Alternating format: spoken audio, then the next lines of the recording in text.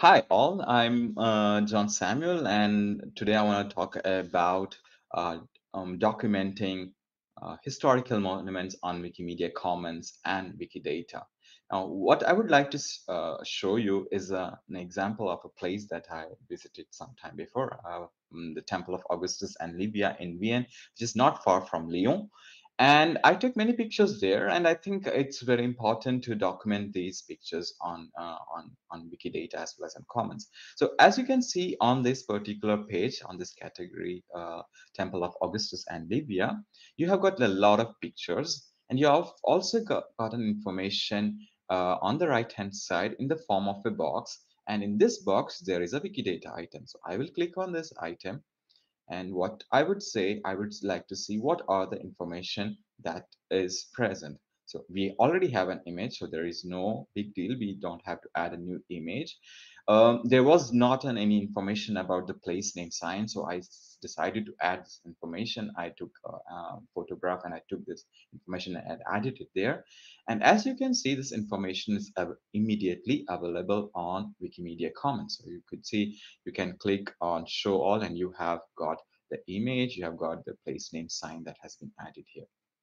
And that's quite useful because your the your picture, sorry, your category is not just lying somewhere. It has been linked to Wikidata items, and people who are multilingual speakers who do not speak uh, possibly English language could come and find this category uh, on Wikimedia Commons and find uh, images for their um, uh, Wikipedia article. So this is quite interesting.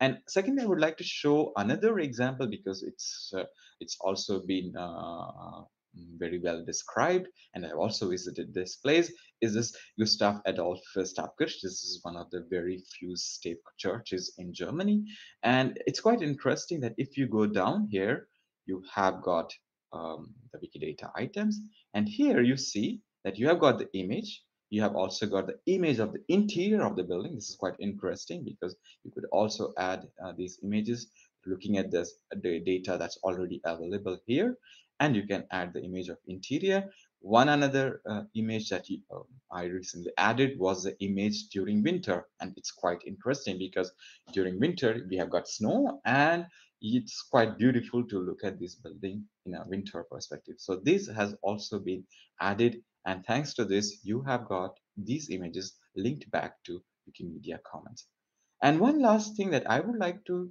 talk about is the uh, example of uh, structured data. I think uh, this is one of the pictures that I took. And when you click on the structured data icon here, you have got additional information. Some of these have been uh, done by bots. Some of this that has been done by uh, me. For example, I add that this image depicts the temple of Augustus and Livia. And some of this information, for example, are coming from the bots but it's interesting because you also have information about when the photograph was taken what's the copyright license what camera was used to take this picture etc so there are lots of advantages of linking wikimedia commons projects and wikidata so it means it will help to uh, help both this project at the same time uh, uh, nourish um, i would say feeding them with in very interesting information and making it very visual Thank you.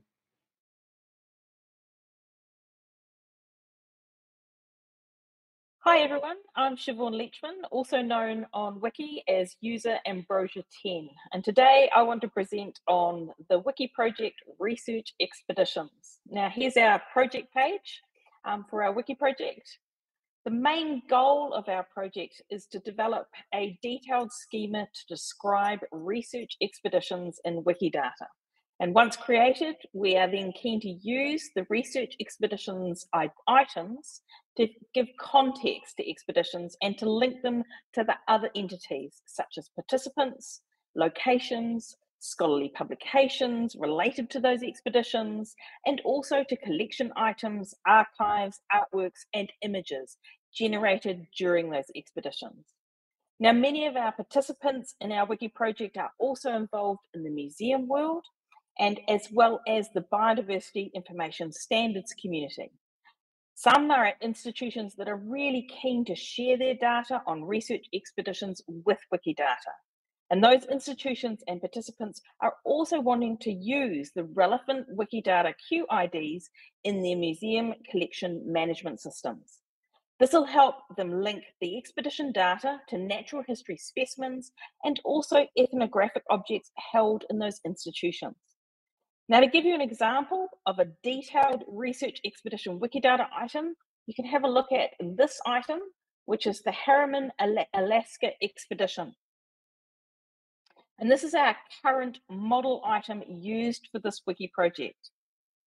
Now, although our wiki project is still a work in progress, we've produced an agreed schema to help guide those editing new research expedition items. And you can see this on our um, on our wiki project page looking at the properties and it gives you a whole schema which guides editors when they're actually creating and enriching items on research expeditions. Now, as a result of this having agreed, we us having agreed to this schema, we're currently aiming at increasing the number and also the quality of research expedition items in Wikidata. And one of the participants of our project, user Joaquim Santos 1978, has produced this visualization to show our progress. And I personally have also just received funding from the Wikimedia Aotearoa New Zealand to undertake a three month pilot project at, a, at New Zealand's National Museum of Te Papa. And we'll be working with Te Papa staff, testing out the research expedition schema, and adding Te Papa research expedition data to Wikidata. I'll also be helping train their employees, as well as undertaking outreach work with other New Zealand based natural history institutions. And I'm intending to produce a report on this project, um, this mini pilot project, um, explaining the challenges and also hopefully the successes of this um, project. Now, my hope is that this, this pilot project will feed into the best practice documentation that our Wiki Project Research Expedition participants are aiming to produce. We're intending to produce documentation that also gives guidance on the reuse of Wikidata QIDs in museum collection management systems. And this is intended that all these documents are going to be openly licensed and shared widely with the Wikidata community. And all this work goes towards expanding the biodiversity knowledge graph and providing context about research expeditions and their contributions to biodiversity and ethnographic knowledge. So if you're interested in getting in touch with us, or if you want to attend our meetings, or even if you have any queries, please see our talk page, which you can see here. And also, of course, please feel free to reach out to me. And have a great time with your Wikidata editing.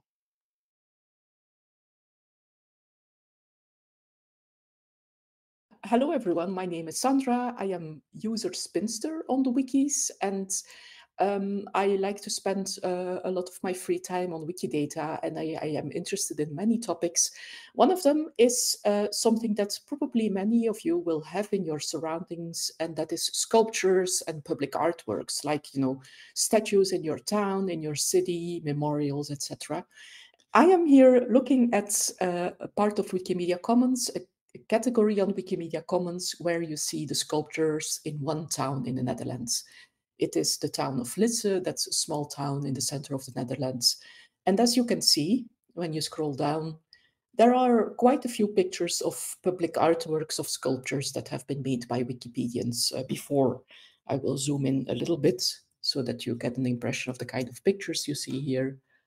And each of these single artworks uh, in this in this category is actually notable for Wikidata, so it can have a Wikidata item. Um, while preparing for this session, I uh, looked at the various sculptures that are here in this category, and I particularly like this one. Um, this session or this demo is being recorded the day after Valentine's Day, and I this sculpture is about two people who love each other, they hug each other, and uh, it's a very elegant sculpture by Kees Verkade, who is a famous uh, sculptor from the Netherlands. And um, certainly this uh, sculpture can have a Wikidata item, so it is notable for Wikidata. I am going to add a Wikidata item for this sculpture. Now, what kind of tools do I use for that? Um, I first uh, always refer to a wiki project. So many topics on Wikidata, if not most, have um, related wiki projects. And we do have a wiki project about public art. Uh, I'm showing it here with information about, you know, what kind of works you can describe with, with a project. And usually the wiki projects also have information on what is called the data model, uh, which is the best practice on how to describe the work on Wikidata. So if you are in doubt on, okay, what properties should I use? What kind of you know data should I put together to describe something? Always go to the wiki project and you will usually find information on the data model. And like here, if you scroll down, you see that you see a table that, uh, okay, works do get a P31 instance of statement they always get a genre they always yeah depending on if you have it available they get an image uh, a date when the work was created country etc so i'm going to follow this this convention. Um, because i edit public art all the time. I already know this by heart so for me it has become routine but if you're a beginner this is very very much a good place to look for inspiration and then it is also good practice on Wikidata to add references. So not just to invent uh, information and put it out there because you know you have heard about it, but also to refer to sources. And so I have also looked up various websites that have information about this work. And I found one website from the city of Lisse that has information about this work. So you see that this is an official website with some information about the artist and you see the place where it is, you see the material, you see the year when the work was created. And I also found a second website that's an international website about sculptures and statues, and that also has the, the same information you see. This also says the work was created in 2011. And I am going to refer to these two websites as references. Now, how do I get started?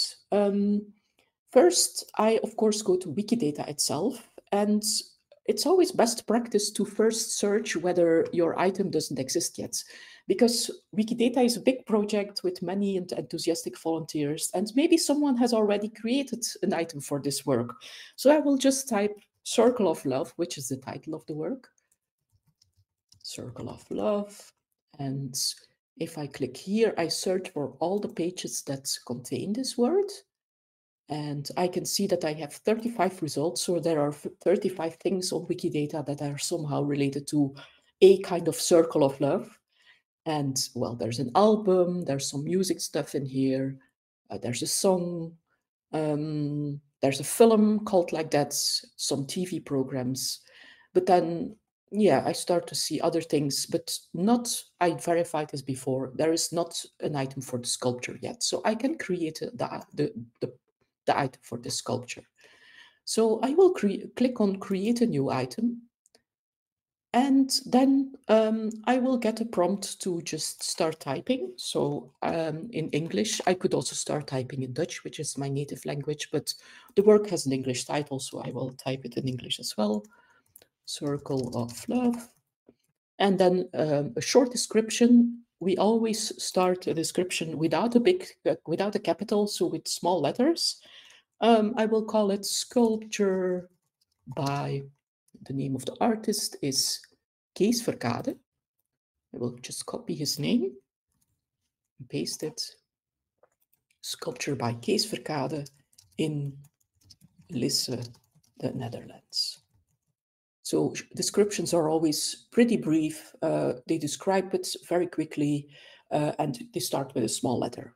And then I say create and then I will have an empty Wikidata item basically. So you see here that the bits of information I added are present here, but then I have no statements yet, no connections to Wikimedia Commons or anything.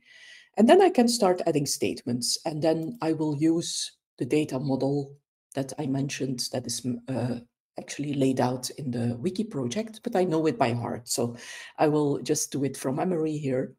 So I will say things like this is an instance of a sculpture, a three-dimensional work of art. This is the correct one. I say publish, and then I will only add some basic bits of data. It can be uh, enriched later. The creator is Kees Verkade. Here we have his uh, Wikidata item that pops up as, as an option. So this is the guy. Um, the work was created in 2011. So the creation date that you describe with inception statement. So I say inception. It also gives me inception already as a as an option. Then we say it's in the year 2011. I say publish. And what else can I say about the work? It is in, um, well, we, we usually say located in the administrative territorial entity. So we say the municipality um, located this one. And then I look up the item for Lisse, which is the town in the Netherlands. Yes, that's the one. Village and municipality in South Holland, the Netherlands, etc., etc. Um, other things to add, just for a demo, I will keep this quite short. But other things to add would be, um, yeah, the image. I will still do that. So I copy the file name here. I just copy paste this, and then I say image. I can also add the country later. Image here. There we go. And then, ta-da, we also see the image appearing here. Well, this is already a very basic Wikidata item. Um, I, I should add a bit more statements later, so I will keep it short for the demo, but things to add are the genre. Um, I will do that because that's a convention in the Wiki project that we say the genre is public art. In that way, we can easily find all public artworks around the world by saying genre is public art. That's a convention in the Wiki project. Here we go. And there's other stuff to add, like, um, let's see, the country. Um, if we would know the location, maybe, I don't know, a park, you would add the park. The coordinates, you can look up the coordinates of the work on Google Maps, for instance, or on OpenStreetMap and add those as well. Uh, the material, we could add that, that is mentioned in a few of these websites. So these are all things that are interesting to add. Um, I, for the sake of the demo, I will keep this brief. I will add mo one more thing that is important to add, and that is the reference. So I will add sources to the statements. And one of the sources I've used is this specific website um, that mentions the name of the artist and um, for instance, also, of course, that it is in uh, the city of Lisse. So you see that here, that is mentioned, the title is mentioned here, um, the year is mentioned there. So I will add that to those statements. And let me see. Um, for instance, I will add a reference to this statement. And I just say reference URL. I paste that URL here. And then I, I usually also add um, the retrieved dates of uh, my statement. So I add the date of today, which is the 15th of um, February in 2024, so that people who see the Wikidata item afterwards, they always see, okay, this Wikidata item has been added or modified based on this source on this specific date. That is good practice to do that. And then I say publish, and in this way I have added this reference. And now I can also add this reference to other statements as well. So I can also add it to the inception, to the creator, etc. Um, well, these are some basics, and um, this is basically how you continue to build an item and um, a very simple way to contribute to Wikidata.